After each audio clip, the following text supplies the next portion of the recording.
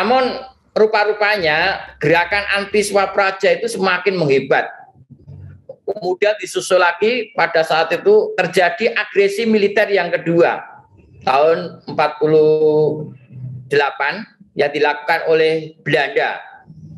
Bersamaan dengan itu maka dalam kepatian itu kemudian di bumi hanguskan dengan alasan bahwa akan dalam kepatian kalau tidak di bumi hanguskan akan menjadi markas tentara Belanda.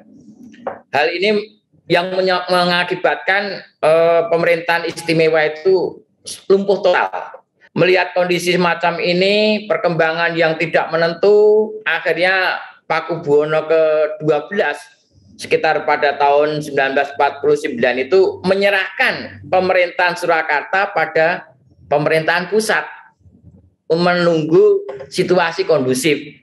Ya.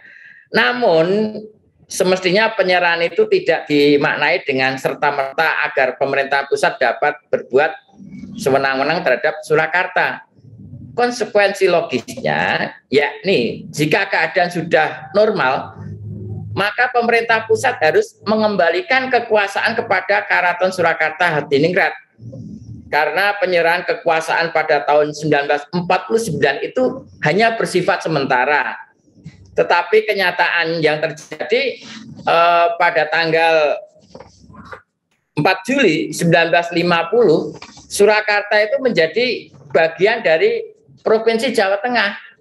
Karena berdasarkan Undang-Undang Nomor 10 Tahun 1950 tentang pembentukan Provinsi Jawa Tengah yang saat itu ditetapkan oleh Mr. Asaat seperti tertulis pada pasal 1 ayat 1 Daerah yang meliputi Karisidenan, Semarang, Pati, Pekalongan, Banyumas, Kedu dan Surakarta ditetapkan menjadi Provinsi Jawa Tengah.